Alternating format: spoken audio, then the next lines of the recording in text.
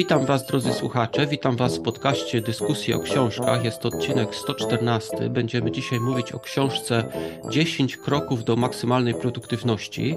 Autorem jest y, Michał Śliwiński. Witaj, Michale. Cześć, dzięki za zaproszenie. Ja tak właśnie nie wiem, jak Ciebie nazywać, Michał czy Michael, bo nasłuchałem się Twoich podcastów i tam się zawsze przedstawiasz jako Michael. Wiesz co, ja, ja, sam się zastanawiałem w którymś momencie, przez to, że e, dużo podróżuję, dużo jeżdżę, mam właśnie klientów na całym świecie, zastanawiałem się, czy w którymś momencie normalnie nie, nie, nie wystosować e, e, prośby o zmianę imienia na Michael z, z Michał, ale zostanę przy Michale, jest, jest to imię uniwersalne i właśnie tłumaczy się na różne imiona w różnych językach, na Michael, Miguel, także Michel, więc jakby, jakby ale po polsku mówimy Michał, więc jakby okej. Okay. tak.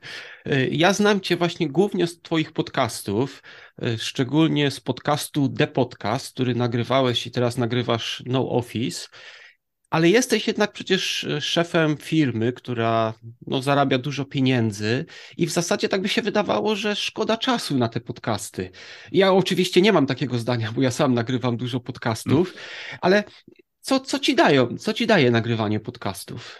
Znaczy, ja w ogóle jestem fanem podcastów. Uważam, że to jest y, jakby to jest moja nowa alternatywa dla radia. Nie? Jakby jak słucham w samochodzie, czy gdziekolwiek, czy biegam, czy, mm, czy ja na rowerze, to ja bardzo lubię słuchać podcastów, y, dlatego że y, słucham dokładnie tego, co chcę. W sensie tych autorów, których chcę, tych osób, których chcę.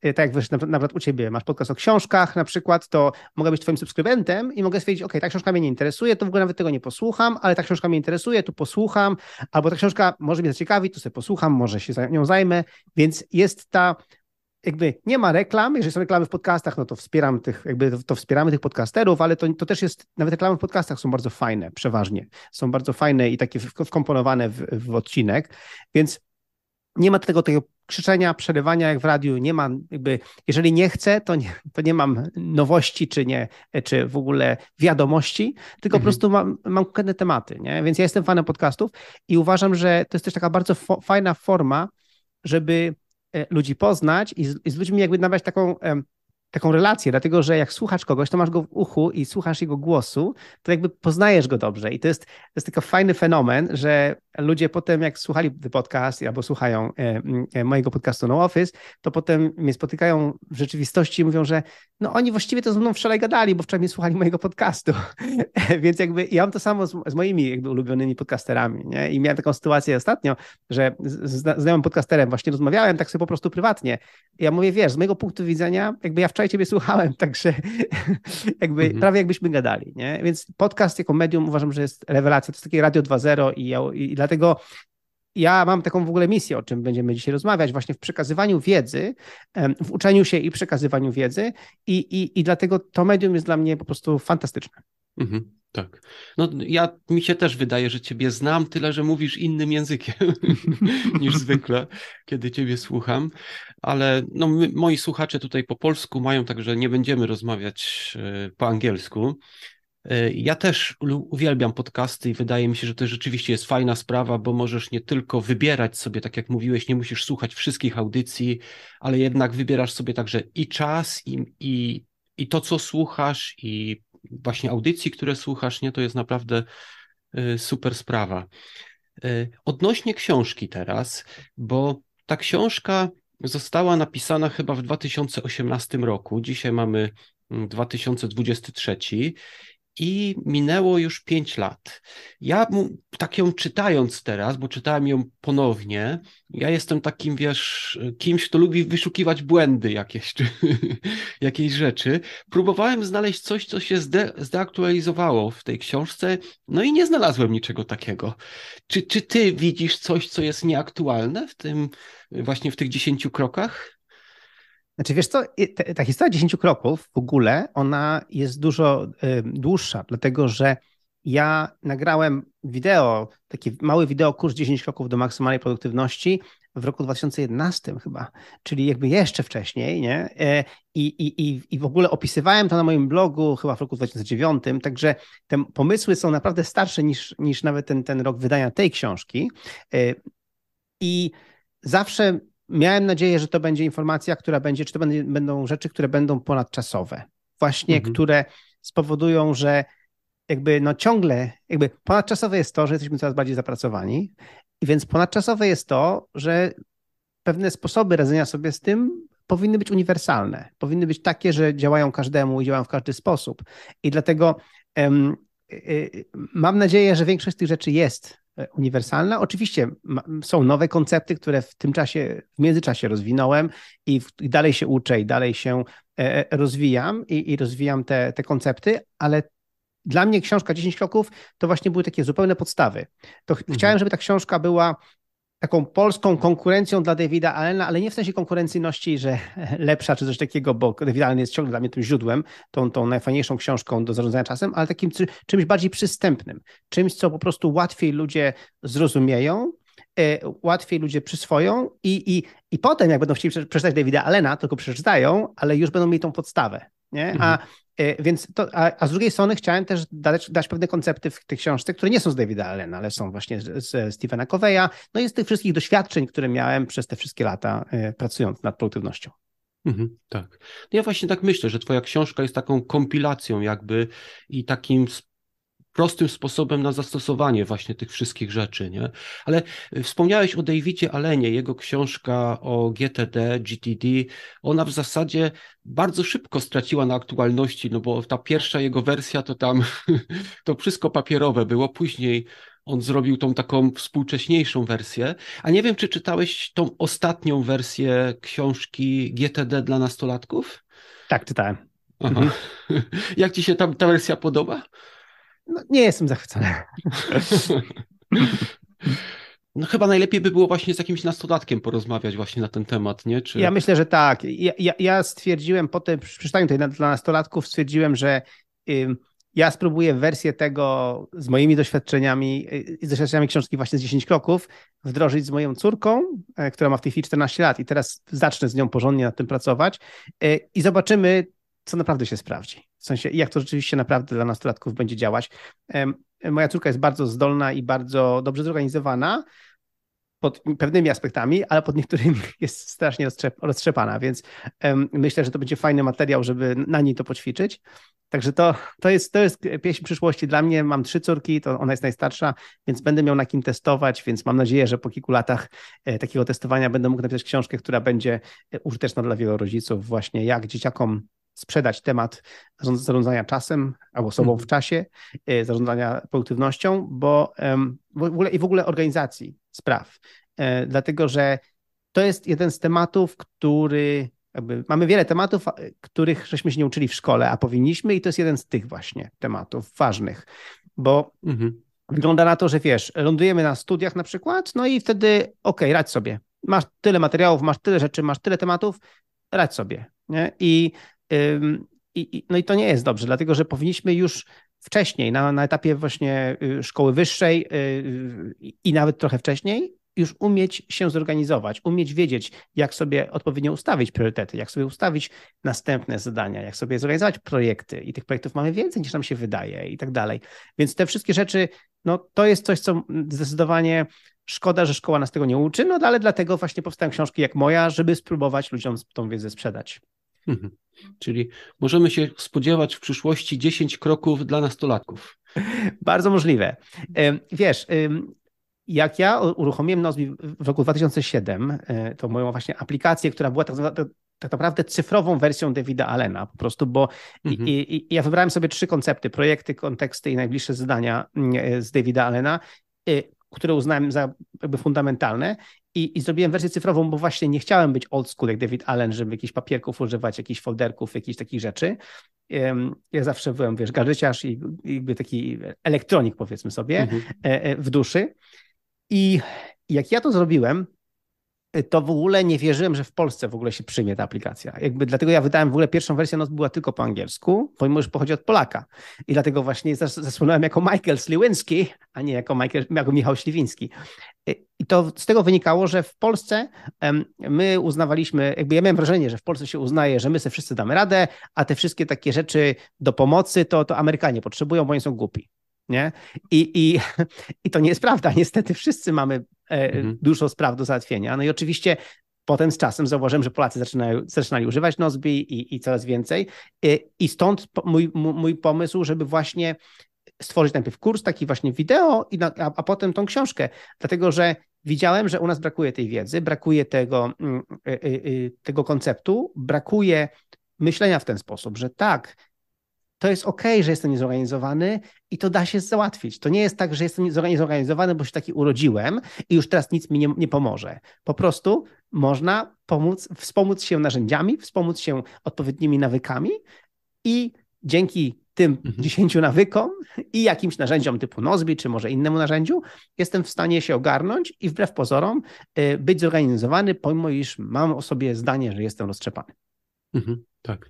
No poruszyłeś taką fajną kwestię y, tego, jak różne nacje, narody podchodzą właśnie do tego. Ja kiedyś czytałem historię Kaizen, że to w zasadzie wymyślono w Stanach Zjednoczonych, ale potem to przyjęli Japończycy i to dzisiaj jest znane jako japońska metoda pracy.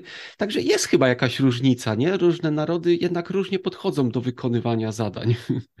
E, tak, zdecydowanie tak. I wiesz, e, to tak samo jak zawsze, zawsze w różnych moich prezentacjach e, dawałem taki przykład, że jak podchodzą do produktywności Amerykanie. Amerykanie podchodzą do produktywności, że masz pracować jak najdłużej, jak najwięcej. Nie? A na przykład Niemcy, taki właśnie stereotyp, a Niemcy, jeżeli nie ogarnąłeś się do piątej po południu, to znaczy, że jesteś nieogar, bo mm -hmm. masz czas do piątej, o piątej wychodzisz do domu. Więc jeżeli o piątej e, wychodzisz, nie wychodzisz z biura, to jesteś nieogar. Jako piątej nie, a w Stanach jako piątej nie wychodzisz z biura, to znaczy, że dużo pracujesz. Więc jakby zupełnie dwa różne jakby koncepty. I, mm, e, i, i także mamy takie pewne, wiadomo, stereotypy.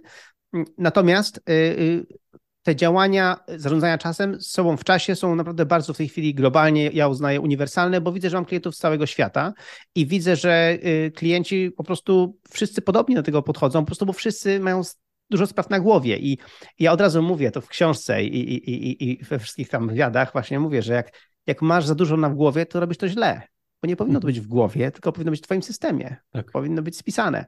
Więc w głowie powinieneś mieć tylko to, nad czym teraz myślisz. Nie? Tak jak ja teraz jestem z Tobą i rozmawiam, nie powinienem w tej chwili myśleć o niczym innym. Nie wiem, co mam jeszcze załatwić, co jeszcze mam ogarnąć. Ja wiem, gdzie to mhm. jest spisane. Ja wiem, że ja wiem, że, że po rozmowie z Tobą znowu muszę odpalić Nozbi, żeby sprawdzić, co jeszcze mi zostało do końca dnia i potem iść do moich córek, się, się z nimi bawić. Ale y, jakby to powinno mieć ułożone po to, żeby móc z tobą normalnie rozmawiać i nie myśleć o czymś innym i, i nie bać się, że o czego, czegoś zapomnę.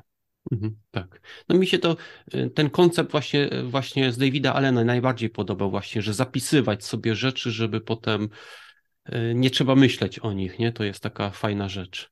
I to jest takie, to jest takie niesamowite, że jak ten nawyk ci wejdzie tak naprawdę już w krew, to i, i, i będziesz, i podejmiesz decyzję na przykład w którymś momencie, żeby go schakować, stwierdzić, a nie wiesz, to, to będę pamiętał.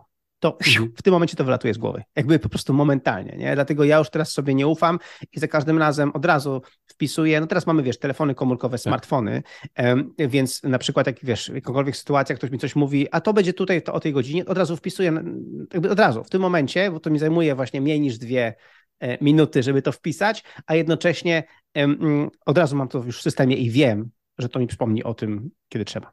Mhm, tak. Tylko, że to też ma drugą, drugą stronę jest taka, że na przykład żona mnie pyta, co robisz jutro? Ja mówię, ja nie wiem. Ja mam w kalendarzu tak? zapisany kalendarz. Ojej, ja, pamięta. ile ja mam takich rozmów, rozmów z moją żoną, nie? Ona mówi, no dobra, a, a, a, a, na którą mamy dokładnie umówione to i to i ja mówię, nie wiem, ale zaraz sprawdzę. Ale ty też możesz sprawdzić, bo współdzielimy kalendarz, nie? Ale mhm. dlaczego się mnie pytasz? Jakby, jakby to, to nie jest teraz, więc jakby... Mhm. Tak, tak. Y, wracając do książki, ja oceniam poradniki, bo tak Twoją książkę bym mhm. scharakteryzował w ten sposób, y, nie na podstawie tego, jak zostały napisane, chociaż to też jest ważne, tylko bardziej na podstawie tego, jak wpływają na moje życie. I Twoja książka mi się bardzo podoba. Nie wiem, czy to jest tylko moja kwestia mnie, bo na teście Galupa wyszło mi w pierwszej piątce mam kontekst. Ja bardzo lubię uczyć się czegoś w kontekście, czyli na przykład języka, to lubię usłyszeć jakieś słowo w jakimś zdaniu konkretnym. Jeżeli ja programuję, e, zresztą tak jak ty, ja nie lubię czytać manuali, gdzie jest teoria, tylko ja lubię zobaczyć jakiś kod, gdzie już jest jakaś funkcja użyta konkretnie jakoś, nie? I w twojej książce właśnie mi się to podobało, że podawałeś tam konkretne przykłady, na przykład to kupno lodówki, jak to rozpisać jako projekt, bo rzeczywiście, jak to jest z tym słoniem, nie? że jak zjeść słonia, trzeba po kawałeczku go zjeść, nie? I to, to, to jest właśnie ta do, dobra metoda, nie? że e, to podałeś tak, w ten taki sposób 10 kroków, że to jest od razu do, do zastosowania. Bo nie wiem, czy też tak masz, że niektóre poradniki są bardzo fajne, jest dużo teorii, ale po ich przeczytaniu człowiek jest już tak zmęczony, że nie ma siły na wprowadzenie tego. Nie, ja jestem e, bardzo tak, zgadzam się z Tobą w 100%. Ja jestem bardzo pod tym względem bardzo zamerykanizowany, bo ja lubię te ich właśnie 10 kroków do czegoś, bo to wtedy masz konkret. Jest 10 kroków, mhm. ok? Nie 11, nie 9, 10. Jest 10 kroków i to są te kroki. I w każdym kroku, właśnie po każdym rozdziale jest też konkretne zadanie do zrobienia, konkretne jakby też wnioski. E, tak, żeby rzeczywiście z tej wiedzy, bo to jest poradnik, właśnie temu ma służyć, ty masz po tym coś zrobić, zmienić w swoim życiu. Więc to jest bardzo istotne, żeby trochę ciebie zmotywować, nie? Żeby, żeby że, że okej, okay, zobacz, e, tu możesz zrobić to, zrobić to i, i, i, od razu coś, i też wtedy poczujesz, sam powiedziałeś właśnie, wtedy poczujesz, że hej, ja to mogę, hej, to, nie, to też jest dla mhm. mnie, nie? Dlatego jak najbardziej, ja, ja bardzo lubię takie właśnie poradniki, ja bardzo lubię właśnie takie, um, takie książki, a czytam, czytam ich bardzo dużo, szczególnie w wersji audio, też właśnie a propos podcastów, to też słucham audiobooków e, bardzo dużo. I, i właśnie takie lubię, które, one te zostają w głowie, właśnie te, które są konkretnie, mają, mają takie, jak się ładnie mówi po amerykańsku, takeaways i mają po prostu next actions, właśnie mają um, i mają właśnie przykłady. Teraz byliśmy mm, e, Teraz byłem w, w tym, w, w Stanach e, na, na krótkim wyjeździe i byłem w jednym z muzeów, gdzie mieliśmy mm, przewodnika i, i wtedy zrozumiałem, jak Amerykanie świetnie umią w ten taki show, ale też taki, że przewodnicy nawet też ciebie nie zawalają teorią całą, nie zawalają cię datami albo takimi rzeczami. Mhm. Oni ci opowiadają krótkie, fajne historie o tym, wiesz, prowadzą się przez jakieś muzeum. Krótka historia tego obrazu, krótka historia tego miejsca, krótka historia tego i w ciągu półgodzinnego takiego tour masz pewną taką impresję i fajne historyjki, i to lepiej zapamiętasz, niż że po prostu dostałeś po prostu taką dawkę teorii, że po prostu aż ci wiesz, czacha dymi, nie? Więc mhm. bardzo dobrze to robią, dlatego ja też próbowałem to w tej książce tak trochę po amerykańsku sprzedać, żeby właśnie to była wiedza, którą za chwilę mogę wykorzystać i, i, i która jest zjadliwa I, i, i, te przykłady, żeby one były no, relevantne, żeby ten kontekst był właśnie, żeby tak. to było coś, przykłady, które, z którymi ty się możesz identyfikować, a nie jakieś przykłady, przykłady abstrakcyjne, nie wiadomo skąd. Mhm. Dokładnie. Ja, jak się uczę języka, to ja, pro, ja lubię rozmawiać właśnie, czyli używać języka, już w tej chwili hiszpańskiego się uczę, to y, proszę właśnie moich profesorów, żeby poprawiali mnie, kiedy robię błąd, ale oczywiście nie chcę, żeby poprawiali każdy błąd, tylko żeby się skupili może na tych kilku najważniejszych, nie? Bo jak mi zaleją właśnie teorią gramatyki, to też jest później y, zbyt męczące. Y, ale idąc dalej do tych dziesięciu kroków, te 10 kroków tutaj podałeś właśnie, czyli ja rozumiem, że można by podać więcej, ale po prostu ograniczyłeś się. Czy one są podane w książce według kolejności, według ważności? Y, trochę tak, bo chciałem, chciałem właśnie Albo inaczej, tak, trochę według ważności i według skomplikowalności systemu. Nie? No bo właśnie mhm. o to chodzi, że jak zaczniesz to, zaczynasz od tego konceptu tych metody dwóch minut, potem jest ta właśnie e, kwestia um, zapisywania i potem kwestia projektów. I jak tutaj już wiesz, kilka kroków zrobisz, to już jakby i, wdrożysz te rzeczy, to już wygrałeś. W sensie już, już, już masz y, plus 10% produktywności, nie? I już, już jest lepiej. I potem każdy kolejny koncept po prostu do ciebie przybliża, nie? Jest właśnie o potem o, o właśnie o kategoriach, o kontekstach, jest, jest, są dalsze koncepty, które możesz, ale nie musisz od razu wdrażać, nie? I, i, i dlatego tak, jak starałem się od no, takich najprostszych konceptów do, do, do naj, najtrudniejszych, no tam w jednym, jednym z tych konceptów jest właśnie mail, jak sobie z mailem radzić, to można użyć w każdym momencie, bo każdy używa maila, ale ale tak starałem się właśnie zacząć od czegoś prostego, tak żeby, żeby ta książka, jakby apetyt rósł w miarę jedzenia, a jednocześnie, żeby można było ja w ogóle jestem zwolennikiem po prostu takich szybkich zwycięstw, nie? Takich quick wins, jak to mówią po Amerykanie, że, że żeby już coś można było zrobić, co już widzisz, że działa i potem możesz pójść dalej. Mhm. Tak, tak. Nie no, bardzo praktyczne. Ja powiem Ci też bardzo dużo poradników przeczytałem, a mimo to Twoja książka dalej była odkrywcza dla mnie. Na przykład kwestia inboxu to jest przecież podstawa u Davida Allena, ale w zasadzie dopiero u Ciebie wpadłem na to, że folder ze ściągniętymi plikami to też jest inbox. Oj tak. I, I, tam też różne faktury, różne rzeczy, co w PDF-ach ludzie przysyłają ci. Tak, to jest jak najbardziej inbox I, i trzeba go sprzątać, bo tam potem można niezłe rzeczy odkryć, że tam jakieś coś zaległe, coś ten, y, coś, coś się zdaktualizowało, coś, ojeja, o czymś zapomniałem, y, ojeja. To jedną z rzeczy, którą właśnie której bardzo pilnuję, to są w piąteczki, jak, jak robię przegląd tygodnia, to żeby właśnie w piątek ten folder, y, y, ten ściągnięte rzeczy posprzątać i oczywiście nie robię tego co tydzień, e, bo często tam oszukuję siebie i mówię sobie, a później, później, później, ale jak tak po dwóch, trzech tygodniach widzę ten folder, jak mi urósł, to od razu się za niego zabieram, bo widzę, że jejka, jeżeli teraz tego nie ogarnę, to to po prostu potem będzie nie do ogarnięcia. Mhm. I którą z tych dziesięciu rzeczy uznałbyś za najważniejszą, które tam opisałeś? Wiesz co, chyba mi się wydaje, że mm, taka najważniejsza rzecz to, to, to, to dla mnie by było to, to umiejętność dzielenia właśnie tematów na projekty. Mhm. I umiejętność decyzji, co jest szybkim zadaniem, co jest a co jest rzeczywiście projektem. No i oczywiście jakby pochodna tego to jest właśnie wybrać najbliższe zadanie w tym projekcie, czyli to pierwsze, jakby ten pierwszy krok, który zrobię w tym projekcie, żeby to poszło do przodu, czyli to identyfikowanie tego najbliższego zadania, bo um, y, to jest właśnie y, duży problem, że jak masz taki projekt, rozpisujesz sobie właśnie tą lodówkę załóżmy, rozpisujesz sobie te wszystkie zadania, które masz do zrobienia, to w tym momencie ci znowu głowa pęka, jejka, tyle że do zrobienia, ja tego nigdy w życiu nie ogarnę, nie? ale w tym momencie wybierasz sobie, nie, zajmę się teraz tylko tym. Tylko mhm. sprawdzę ten model, który obecnie coś tam mam, albo coś tam, coś tam i od tego zacznę. Nie? I już jest lepiej.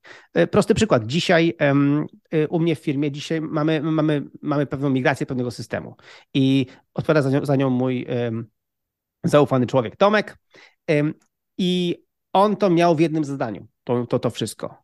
Ale ja od razu zauważyłem, chwila, chwila, to nie jest jedno zadanie, tam mamy jeszcze zrobić to, to, to i tamto i, i część z tych rzeczy ja muszę zrobić, żeby on mógł potem dokończyć to, nie? Mhm. Więc pierwsze, co zrobiłem, to od razu te, te, te jakby z tego zadania napisałem mu, słuchaj Tomek, ogarniamy to w tym i tym projekcie, zrobiliśmy sekcję w ogóle sobie w, te, w, tym, w takim projekcie pochodnym jakby od tego i, i rozpisaliśmy te, to na, na, na zadania i od razu zaznaczyłem sobie, które zdania są najbliższe, którym muszę zająć się dzisiaj e, i już te rzeczy zrobiłem.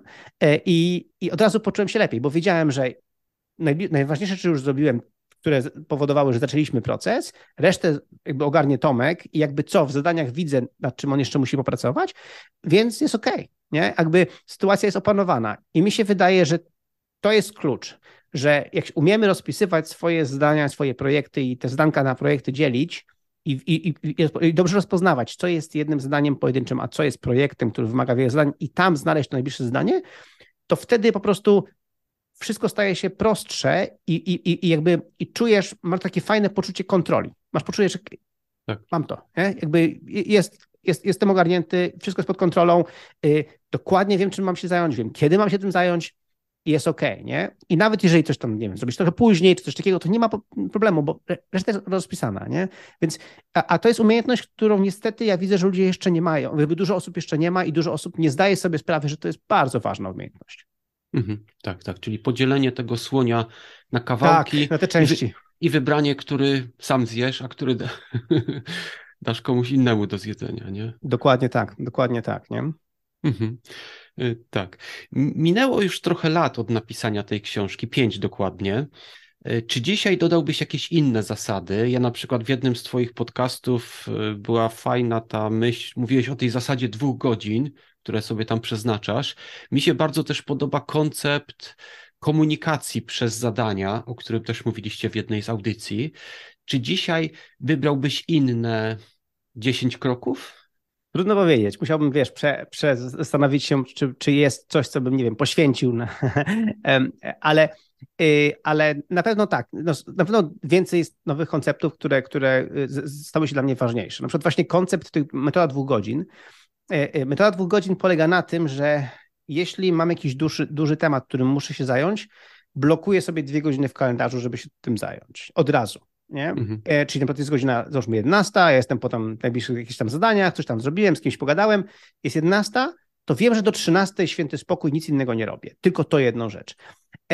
I ta metoda okazała się dla mnie kluczowa, dlatego że jako szczególnie szef firmy są często koncepty, które naprawdę muszę zgłębić. Gdzieś muszę po prostu naprawdę się zastanowić, muszę poczytać i muszę mieć na to przestrzeń, ale przestrzeń w czasie.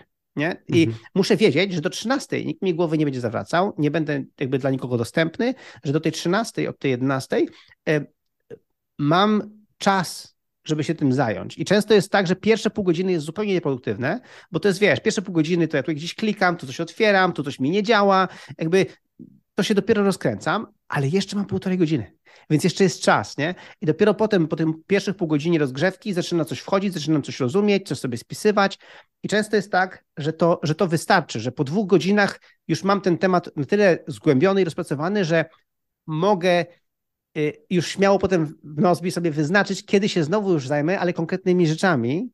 Mhm. Te, te, te, te, dwie godziny są po prostu potrzebne na taką, jakby ładnie powiedzieć potocznie, rozkminę. Nie? Żeby, mhm. żeby rozkminić coś i, i wiedzieć, co potem już zrobić dalej. Bo często w sytuacjach takich y, nie wiesz, co jest twoim najbliższym zadaniem, bo jeszcze do tego nie doszedłeś. Nie? Więc jakby to jest ten moment, żeby dać sobie tą przestrzeń. I to jest też problem u nas obecnie w naszej pracy, w naszych sytuacjach, że my wszyscy czujemy trochę się odpowiedzialni wobec innych, że zawsze musimy być gotowi na odpowiedź, gotowi na odebranie telefonu, gotowi na odpisanie wiadomości i musimy, i, i przez to nie dajemy sobie tej przestrzeni. A to są tylko dwie godziny. Mhm. Ale dla wielu osób się wydaje, że aż dwie godziny. Nie, nie będzie mi dostępny od 11 do aż do 13. Nie? Ale to jest tylko do 13. Po 13 być ok, dostaniesz maile, wszystko ok, sprawdzisz te maile z godziny 12.25, nic się nie stanie. Nie? I, i, I to jest coś, co, y, koncept, który chciałbym trochę ludziom sprzedać. Słuchajcie, dajcie mhm. sobie tą przestrzeń.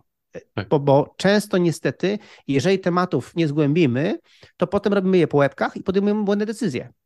A tutaj jest kluczowe, żeby naprawdę mieć ten czas, żeby sobie poklikać, poczytać, Y, przejrzeć, wynotować, zapisać bzdurę, potem ją skreślić, napisać nowe coś i jakby, żeby rzeczywiście mieć czas na to, nie? I dlatego ta metoda dwóch godzin y, jest, jest, jest dla mnie taka kluczowa, żeby, żeby coś zrobić tak dogłębnie.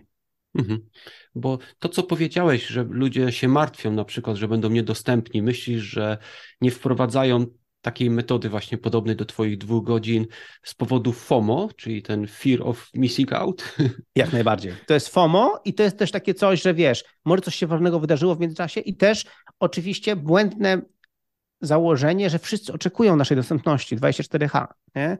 a my naprawdę mamy prawo stwierdzić, nie, nie będę dostępny 24H, sprawdzę to później, jakby nic się nie stanie. Nie? Oczywiście mhm. są sytuacje podramkowe, nie wiem, wypadek, coś tam, no, ale to są sytuacje bardzo losowe i bardzo rzadkie. Jednak w normalnym jakby funkcjonowaniu, w normalnym życiu, jeżeli nie pracujesz na pogotowiu, gdzie ciągle kogoś ratujesz, ratujesz komuś życie, to te sytuacje nie występują i, i spokojnie można ten czas sobie poświęcić, ale właśnie dużo osób ma ten problem. Tak samo problem jest z, oczywiście z przeglądem tygodnia, który jest jednym z, tam, z moich rozdziałów w tej książce, e, mhm. że też ludzie uważają, że to jest, ja to doskonale rozumiem, bo sam mam takie problemy, że e, dwie godziny na spotkanie sam ze sobą, żeby przejrzeć moje zdania i projekty, to jest strata czasu przecież, nie?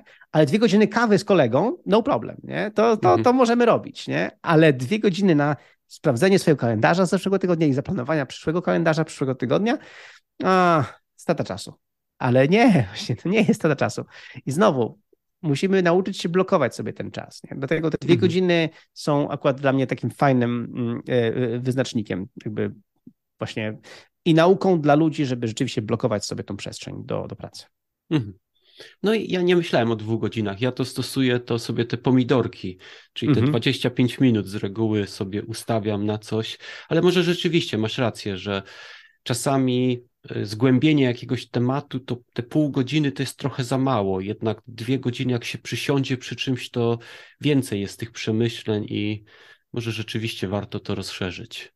Moje doświadczenie jest takie, że ten pierwszy pomidor, te pierwsze 25 minut to, to, to będą stracone minuty, bo to będzie klikanie, przeklikiwanie się i tak naprawdę dopiero takie wstępne ogarnięcie się, gdzie ja w ogóle jestem. Nie? Mhm. Ale, dla, dla, ale dlatego właśnie, że daję sobie dwie godziny czasu, te pozostałe półtorej godziny ma, dają mi jeszcze poczucie, że jeszcze mam kupę czasu, że jeszcze, jeszcze mam dużo czasu, żeby, żeby to wszystko e, rozkminić. Dlatego um, ja jestem bardzo dużym fanem metody pomidora, ale, e, ale w tej sytuacji dla wie, takich właśnie większych rzeczy proponuję dać sobie tą przestrzeń.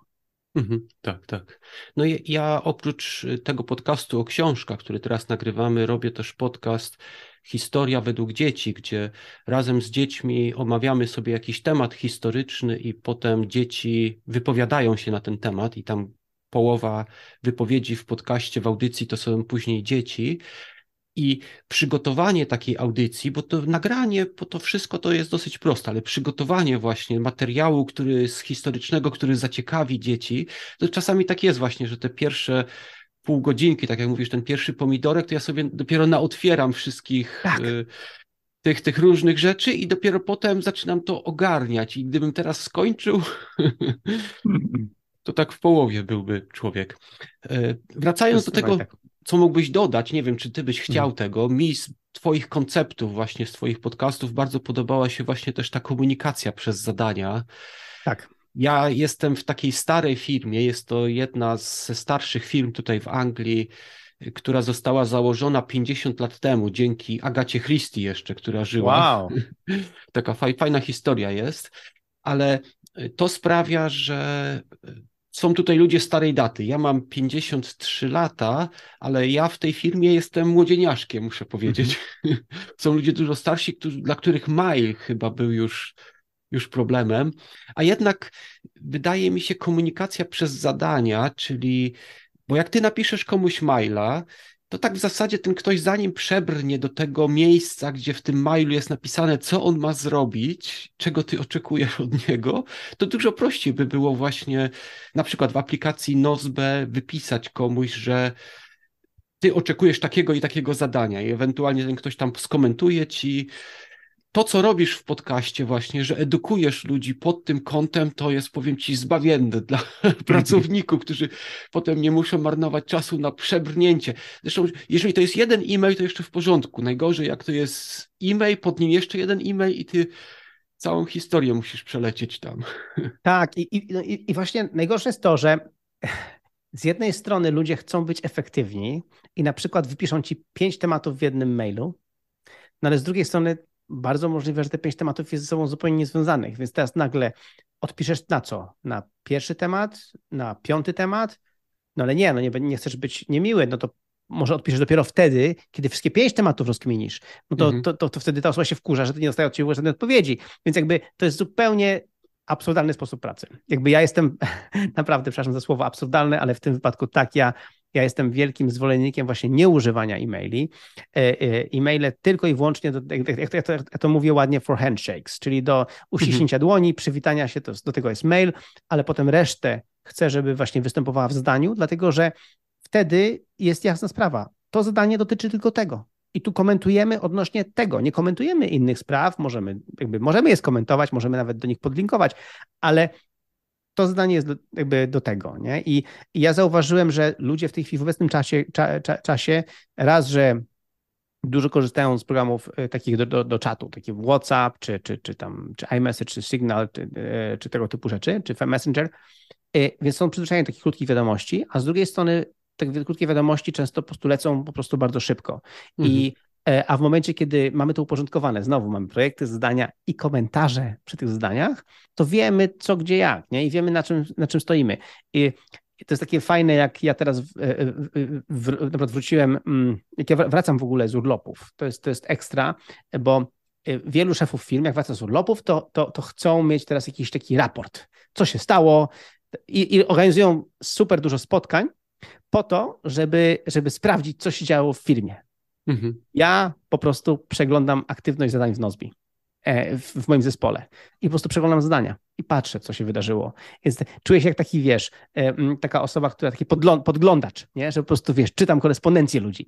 A tak naprawdę właśnie czytam komentarze w zadaniach, czyli wiem, na czym stoją rzeczy, interesuje mnie konkretny projekt, wchodzę do tego projektu, patrzę, co tam się wydarzyło. Jakby jestem na bieżąco, widzę, co się dzieje i nie muszę nikogo o nic pytać. Co więcej, mhm. mogę od razu skomentować, mogę coś dodać, swoje trzy grosze i I tak naprawdę, jak spotykam się z moimi ludźmi, to spotykam się bardziej kurtuazyjnie, żebyśmy sobie porozmawiali o tym, co u nas w życiu, co ciekawego. Może omówili jakieś tam niuanse pewne, pewne, pewnych tematów czy pewnych projektów, ale tak naprawdę wszystko inne już jest w zdaniach, w komentarzach. I zauważyłem, że to nawet jest sposób bardzo, bardzo efektywny. I do tego stopnia, że w tej chwili mm, w, nowym Nozbi ciśniemy bardzo mocno właśnie na to, na ten aspekt, żeby nauczyć ludzi tego przejścia, żeby, żeby mhm. zadanie było, mail był mailem, my potem mail możemy łatwo przeforwardować do Nozbiego. W Nozbim możemy go sobie już ogarnąć jako zdanie. I co więcej, w tej chwili wydajemy taką nową funkcję. E, wydaliśmy, że można zadanie też stworzyć dla każdej osoby na świecie z mailem. Wtedy ta osoba dostaje maila i otwiera to zdanie w takim widoku zdania i tam może komentować. Czyli znowu my chcemy, żeby ta osoba z nami to komentowała w zadaniu, a nie w mailu. My mhm. przez maila podajemy jej link do tego zdania, ale ona już ma to zrobić w tym, w tym zdaniu bo oprócz tego, że to jest właśnie takie bardziej produktywne, bardziej sfokusowane, to jeszcze jest bezpieczniejsze, no bo wtedy też załączniki są wysyłane w sposób szyfrowany i tak dalej, dalej, więc to wszystko jest dużo bezpieczniejsze, a jednocześnie ja to dostaję w Nozbi dokładnie w miejscu, gdzie chcę, nie? dokładnie tam, gdzie ja chcę, e, e, żeby to było. Także ja walczę z tym, e, próbuję ludzi przekonać i, i widzę, że wśród moich klientów, wśród klientów Nozbi, te firmy, które przyjęły to i zaczęły stopniowo odchodzić od maila, Mhm. Y, y, to, to, to, no to potem bardzo się cieszyły z, tego, z, tego, z tej zmiany. E, oczywiście taka zmiana jest trudna, bo to tak mówisz, to jest kwestia nawyków, kwestia też tego, jak bardzo ludzie są ogarnięci, jeżeli chodzi o technologię. E, na szczęście właśnie mamy aplikację na iPhone'a, na Androida, więc mamy te aplikacje takie w miarę łatwe. Aplikacja Nozbi właśnie jest dosyć prosta w obsłudze, też właśnie po to, żeby ludzie łatwo mogli to ogarnąć. E, I I ludzie powoli się tego uczą. Ja często właśnie mówię, że w zespołach, gdzie, gdzie to ludzie wdrażają Nozbi, to proszę ich, słuchajcie, zacznijcie od jednego projektu, który ganiecie w Nozbi, a pozostałe przez maila dalej tak jak robiliście po staremu. I zobaczcie, jaka jest różnica. I potem stopniowo poszczególne dalsze rzeczy migrujcie do Nozbi, tak żebyście powoli odchodzili od tego maila. To nie tak, że od razu trzeba od niego, od maila odejść, ale, mhm. ale polecam to. I co więcej, y, jakby jak próbujecie komuś maila wysłać, zastanówcie się, czy naprawdę to musi być mail, czy to nie powinno być zdanie. I, i, no i ludzie to łapią, ale to rzeczywiście jest y, zmiana nawyków, to jest y, zmiana podejścia i to jest trudne, no ale to też wymaga dla mnie tworzenia podcastów, tworzenia książek, tworzenia materiałów, żeby ludzie się powoli w tym edukowali, po to, żeby chcieli przejść na ten nowy, według mnie lepszy sposób funkcjonowania. Mhm. Tak, tak, tak. No i kiedy powiedziałeś o tym, że jako szef to nie musisz nagabywać, ja sobie wspominam właśnie, jak to u nas jest, że e, jest jakiś problem, my go rozwiązujemy, maile lecą w tobie, a tu szefowa przysyła swojego maila, o co chodzi, ona chce wiedzieć, dlaczego jeszcze nie zostało rozwiązane. I rzeczywiście, gdyby to było, komentarze były w jednym miejscu, po prostu tak. mogłaby sobie wejść, przeczytać i na jakim etapie jesteśmy. A tak my musimy się odrywać i przeznaczać czas na odpowiadanie jej, zamiast skupić się na problemie. Nie? Chociaż ja rozumiem oczywiście, że ona chce wiedzieć. Nie, no ma prawo wiedzieć, oczywiście, że tak, ale właśnie tak powiedziałeś. Po co dwa razy? pisać, mhm. nie? Po co teraz ty będziesz teraz streszczał cały temat, nie? E, kiedy naprawdę ona mogłaby po prostu spojrzeć na to zadanie, przejrzeć, zobaczyć, co tam się wydarzyło, dodać swoje trzy grosze, jeżeli ma e, i, i tyle, nie? I naprawdę to jest, dla mnie to jest w ogóle zbawienny temat i, i to powoduje, że bo wiesz, z drugiej strony właśnie e, postaw się w sytuacji twojej szefowej. Ona nie chce też wyjść na osobę, która nie, nie wie, co się dzieje w jej firmie. Nie? Mhm. I, i, I dlatego właśnie ja lubię tą możliwość, że ja mogę po prostu wejść i sprawdzić szczegóły tego wszystkiego, zobaczyć te komentarze, bo wtedy nie wychodzę na, tego, na tego szefa mm, nieogara, bałwana, który nie wie, co się dzieje, nie? Więc jakby, bo nie muszę zadawać głupich pytań, no bo po prostu mhm. mogę sam sobie sprawdzić. Mhm, dokładnie, dokładnie. tak. Mówiliśmy o tym, że być może w przyszłości wydasz książkę 10 kroków dla nastolatków, ale mhm. ja wiem, że ty masz, planujesz teraz właśnie wydanie nowej książki wcześniej trochę i innej. Tak, no, y, więc książkę y, y, teraz pracujemy, ona już jest, jest już online dostępna do, do, do, do poczytania i teraz chcemy ją wydać w formie właśnie e-booka i w formie w ogóle książki. E, książka No Office, czyli o, o pracy bez biura. I to jest, i książka nie jest tylko o pracy bez biura. Książka jest w ogóle o, o nowoczesnym sposobie zarządzania firmą.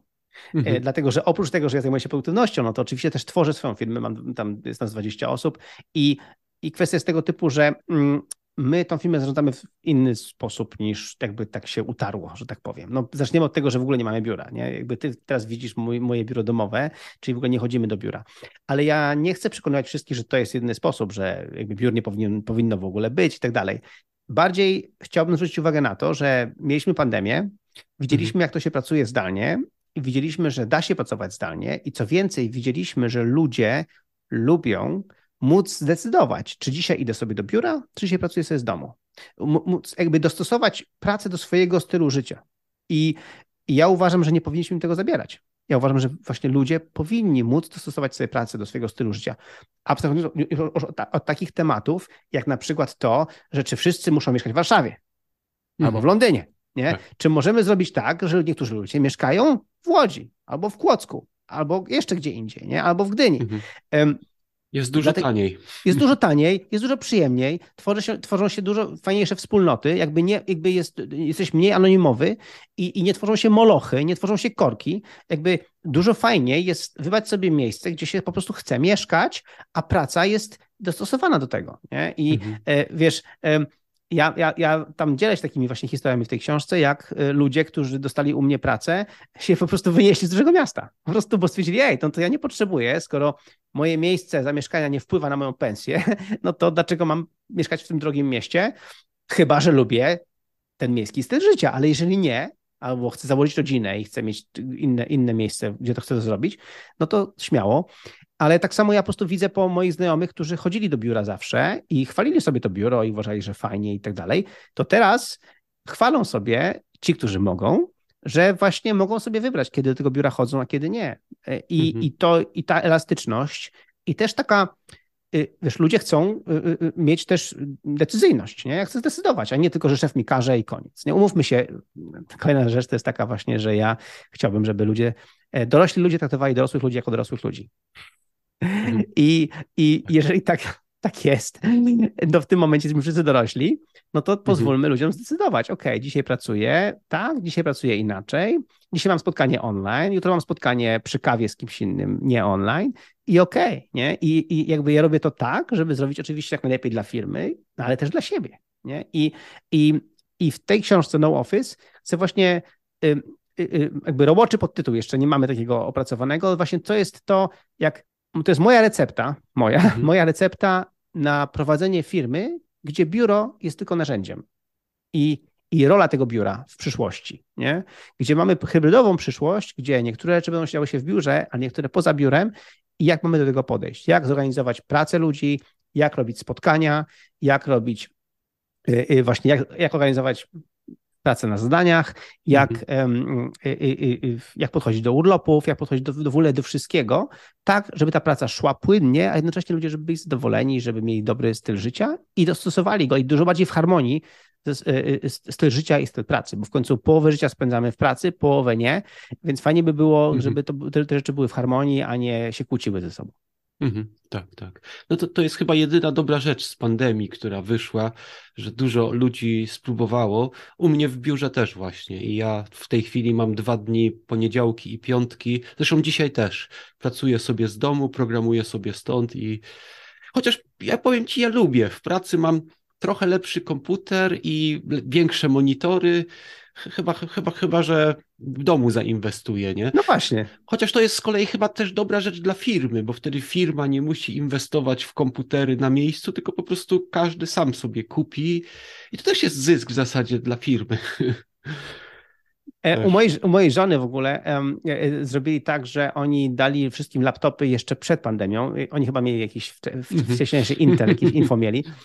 I, I to powodowało, że mm, jakby ludzie jeżdżą z tymi laptopami, że podłączają się tutaj pod stanowisko i tutaj pod stanowisko. Więc ja żonie Zanim to potem jej firma tam refundowała, to ja żonie, od razu kupiłem duży monitor, kupiłem jej e, właśnie biurko podnoszone, żeby mogła pracować też na stojąco, kupiłem jej dobry fotel i ja mówię, słuchaj, masz tutaj sprzęcior w domu też dobry, żebyś mogła się podłączyć do tego wszystkiego i sobie bardzo wygodnie pracować, nie? Ale mhm. i, i, dokładnie, i to jest też ta, to, że nawet moja żona wie, że jak ona idzie do, na przykład do biura, w dni, kiedy chodzi do biura, no to wtedy będzie mniej pracowała merytorycznie, bardziej towarzysko, bardziej ogarniała jakieś tam właśnie niuanse, jakieś tematy, jakby będzie, to będzie inny, inny dzień pracy. Nie? Też efektywny, też dobry, ale inny. Nie? Ale z drugiej strony cieszy się na te dni, kiedy może usiąść po prostu i nad jakimś dokumentem popracować. Nie? I po prostu go zrobić od A do Z, wiedząc, że jakby nikt tutaj nie wpadnie do biura, nikt nie będzie przeszkadzał, nie będzie sama kuszona, żeby pójść z kimś na kawę albo coś takiego. Więc Dlatego ja uważam, że to jest przyszłość. Ja uważam, że przyszłość jest taka i, i przyszłość jest taka właśnie, żeby to, żebyś to ty decydował o tym, czy chcesz, mhm. w harmonii oczywiście z celami firmy i tak dalej, ale jednak, żeby to nie było na tobie narzucone, bo y, ja między innymi jestem fanem marki Apple i jestem fanem ich produktów, ale właśnie Apple, y, Tim Cook, y, szef Apple, próbuje narzucać, próbuje mówić, a tylko chodzimy w poniedziałki, środy i coś tam, coś tam i, i jestem mhm. dobry, że pozwala na te i te konkretnie dni. No tak, ale daj pracownikom wybrać, które dni jakby im pasują, nie? Jakby to nie muszą być te same dni, nie? Mhm. A tutaj i co, plus ja uważam za, za, za wielce nieoptymalne, że wszyscy chodzą w te same dni i wszyscy w tego, te same dni są w, w domu. No to jest bez sensu. Jakby to właśnie powinno być jakoś na przemian, żeby z tego biura lepiej skorzystać, więc em, Dlatego właśnie o tym, o tym jest ta książka. Jest to książka o tym, jak prowadzić to wszystko, bo jeszcze przed pandemią ludzie się patrzyli na mnie kompletnie jak na ufolutka.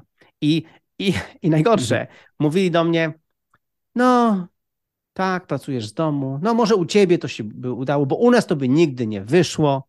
I jak ja to słyszałem, że u nas to by nigdy nie wyszło, to pomyślałem sobie, albo wy się ze mnie śmiejecie, uważacie mnie za jakiegoś idiotę, że jakby moja głupia firma jest w stanie to robić, ale wasza super mądra nie może, albo y, uważacie, że naprawdę to jest takie special, żeby siedzieć ciągle w jednym pomieszczeniu i, i, i, tylko burzę mózgów i tak dalej, nie? Więc, mm, y, no więc na szczęście te, jakby dla mnie plusem tej pandemii jest właśnie to, że, że, mhm. że ludzie zobaczyli drugą stronę medalu. Minusem jest to, że w tej chwili y, y, często szefowie firm się zachwystują tym, a jak fajnie wszystkich znowu w biurze zobaczyć, jak fajnie wszyscy moi ludzie są na miejscu, jak fajnie, jak fajnie.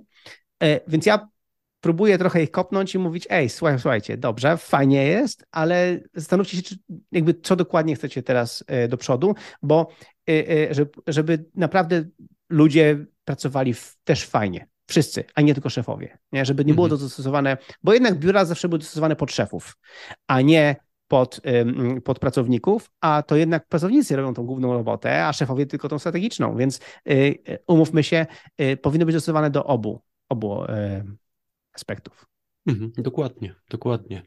Y, to, co na początku jeszcze powiedziałeś, że to oczywiście nie zawsze da się zastosować, no bo ja na przykład właśnie z tymi podcastami, kiedy uczę dzieci historii, to ja zauważyłem, że jednak tak na żywo, jak jesteś z kimś, to jednak nau nauczycielowi chyba jest łatwiej zaangażować dzieci. A przez Zooma, no to nigdy nie wiesz, czy tam dziecko, nie wiem, nie ogląda sobie czegoś, że ty myślisz, że ono ciebie słucha, ale on tam sobie odpaliło, nie wiem, film na YouTubie i tak. sobie ogląda. Także to jest trudniejsze może też e, w ten sposób, ale na przykład, no, kiedy pandemia jest, no to jest idealny sposób. No tak, ale właśnie znowu, zobacz, y, znowu, y, jest część twojej pracy, na przykład nagrywanie tego podcastu z ściekami, to stwierdzasz, mhm. nie, to róbmy razem w jednym pomieszczeniu, idźmy tam, jakby przemieśćmy się tam i tak dalej, i tak dalej. Ale z kolei na przykład już drugi aspekt tego, tego na przykład składanie tego podcastu, y, przygotowanie, publikacja, marketing, no tego już nie musisz robić w tamtym miejscu. Możesz to zrobić spokojnie w zaciszu swojego biura domowego, spokojnie sobie ustawić wszystkie jakieś tam automatyzacje, jakieś tam publikacje, jakieś takie rzeczy. Więc to jest, to jest dokładnie, to jest to, że ja chciałbym, żebyśmy zobaczyli, że biuro może mieć swoje fajne zastosowania. Co więcej, ja uważam, że wiele biur mo może powinno zostać przeprojektowanych właśnie po to, żeby ta interakcja była lepsza wtedy, kiedy mhm. ludzie są, podczas kiedy y, zakładamy, że ludzie będą efektywniej pracowali jakby tak y, sami z sobą w domu. Nie? Więc jakby, więc ja uważam, że tu jest dużo pracy y, architektów i, i w ogóle menadżerów, żeby, żeby zastanowić się, po co mi to biuro? Po co mi to biuro, do czego ono służy i w jakich rzeczach ono jest właśnie świetne i niezastąpione albo po prostu lepsze, a w jakich rzeczach niestety nie. I, jak to powinno działać. Na przykład właśnie jednym z aspektów e, e, u, u, u znajomej mam, mamy to, że w momencie, kiedy u niej spotkania stały się wirtualne z definicji, to spowodowało, mhm. że nagle ona nie musi jechać do pracy, bo jest spotkanie nie? Może wie, wie, że może tego dnia, bo to ma tylko jedno spotkanie, to może spokojnie zrobić je przez y, wirtualnie. Nie? I sami ludzie zauważyli, że spotkania wirtualne wśród dorosłych szczególnie generalnie e, się udają, zwłaszcza jeżeli są dobrze przygotowane i tak dalej. No to już właśnie o tym też mówię w mojej książce tej nowej No Office, że mhm. spotkania powinny być opcjonalne, regularne i dobrze przygotowane. I um, jak nie, nie, tracimy ludzi czasu, to spotkania są szybkie i sprawne i, i, i fajnie działają, ale znowu y, y, y, nie zawsze muszą być razem. Nie zawsze musimy być razem, ale też możemy z tego korzystać, też możemy próbować być razem. Nie? Więc znowu, mhm. to jest kwestia zakwestionowania pewnych rzeczy. To jest to, żeby podejść do sprawy nowocześnie i też wziąć pod uwagę te wszystkie narzędzia, które mamy i ten sprzęt, który mamy, teraz XXI wieku, mamy po prostu super komputery w kieszeniach i, i, i, i po prostu możemy z tego skorzystać i możemy spowodować, że dzięki temu będziemy znowu, tak jak powiedziałem, dostosujemy naszą pracę do naszego stylu życia. Mhm, tak. Chociaż ja widzę właśnie, że jesteś takim ewangelizatorem, można powiedzieć tego, ale to zobacz, to jest mimo wszystko trudna sprawa. Ja Cię bardzo cenię i mam mhm. nadzieję, że Ci się uda, bo nawet, tak jak wspomniałeś, firma Apple, oni przecież skonstruowali swoje biuro tak, y, tam jeszcze Steve Jobs to mówił, żeby kiedy ludzie do ubikacji będą szli, żeby się spotykali i żeby, wiesz, dyskutowali i wtedy, nie wiem, wpadali na pomysły, co jest oczywiście bardzo fajne. No ale, ale to jest rzeczywiście przeszłość, bo rzeczywiście lepiej jest chyba, kiedy ludzie sami zdecydują. Tym bardziej, że koszty na przykład życia w Londynie, w Warszawie, czy tak jak tam właśnie w Dolinie Krzemowej są strasznie duże. Oczywiście. I to Oczywiście. jest forma podwyżki, bo ty pracownikowi możesz nie dać więcej pieniędzy, ale jeżeli pozwolisz mu zamieszkać w tańszym miejscu, to w zasadzie dajesz mu podwyżkę w pewnym sensie, nie? Oczywiście, że tak, to tak, no bo jego koszty życia są dużo niższe nagle, a więc tę nadwyżkę sobie wykorzysta na coś innego. Więc jak najbardziej to jest y, to. Jest to. I, ja uważam, że ten Apple Park, to nowe biuro Apple jest po prostu piękne, jest śliczne. Ja bym mhm. tam chętnie chodził y, tak. do, do, do, do, pracy czasami, mhm. ale nie, żeby mi kazali tam chodzić codziennie. Nie? Jakby, więc, więc to jest jakby ta e, taka, e, to, to, z czym się nie zgadzam. Nie? I, i, I uważam, że tworzenie fajnych miejsc, gdzie ludzie chcą chodzić, ekstra, ale znowu nie narzucajmy tego, nie? Jakby zróbmy mhm. to. Ja, wiesz co, na, nawet ja to widzę, jak, jak tworzymy, bo wiesz, my jesteśmy firmą w pełni wirtualną, właśnie nie mamy biura, ale spotykamy się raz do dwóch razy w roku kiedy po prostu jedziemy sobie w jedno miejsce, mamy takie spotkanie Nozbi, e, e, jedziemy sobie do jakiegoś hotelu, e, spędzamy czas razem, mamy salę konferencyjną, mamy właśnie zwiedzamy miasto, jakby robimy różne rzeczy, gramy w coś i tak dalej, chodzimy na, do restauracji fajnych, więc robimy sobie fajny, fajny czas i też widzę, że trzeba to robić z, z ludźmi, razem z nimi mhm. to koordynować i też być otwartym na ich feedback, między innymi po to, żeby to było wspólne dzieło, a nie tylko no szef kazał zrobić to, szef kazał tamto, szef kazał tamto, nie? Więc y, no to jest znowu, to jest kwestia takiego innego podejścia do, do, do, do, pracy, do pracowników i do tego miejsca pracy.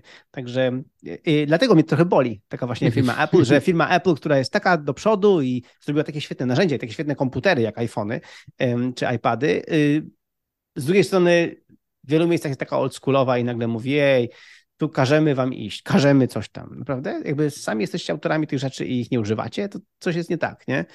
Więc, więc ja uważam, że tutaj po prostu jest jeszcze dużo do zrobienia, ale to jest kwestia, wiesz, psychologii, kwestia podejścia. E, już się nasłuchałem od ludzi, że tak, że, że, że y, jestem za bardzo do przodu, albo właśnie tak jak powiedziałem ci wcześniej, to by u nas się nigdy nie udało. Mhm. Spróbujcie. I wtedy dopiero powiedzcie mi, żeby się tak. nie udało, a nie jakby nie, nawet nie próbowaliście i już mówicie, że się nie uda. Nie? Więc. Mhm. Tak. Także takim pozytywnym akcentem, taką zachętą właśnie do tego, żeby, żeby spróbować chociaż, bo to rzeczywiście jest dobre.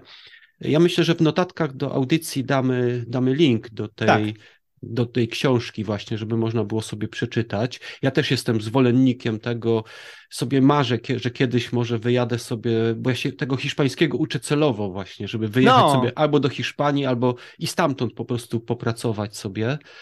E, a dzisiaj bardzo chciałem podziękować Ci za to, że znalazłeś czas, że mogliśmy porozmawiać, no i nagrać tą audycję. Bardzo Ci dziękuję, dziękuję za zaproszenie i w ogóle cieszę się, że, że, że moja książka została tutaj wspomniana i, i że na tobie warła wrażenie. Także cieszę się bardzo, bo no, to jest ten cel. Chciałbym właśnie ewangelizować te koncepty, chciałbym, żeby ludzie byli lepiej zorganizowani, po prostu mieli lepszy styl życia. To jest to, jest to co, co robię. Tworzenie aplikacji, sprzedawanie aplikacji jest po prostu jakby pewnym produktem tego i pewnym jakby sposobem na zarobienie na życie, ale ja generalnie chciałbym po prostu innym pomagać i, i mam nadzieję, że trochę pomogę i cieszę się, że, że na ciebie to zrobię wrażenie. Dzięki bardzo. Ja też dziękuję, a Wam słuchacze, jak zawsze, dziękujemy za wysłuchanie nas do końca. Bardzo dziękujemy i pozdrawiamy serdecznie.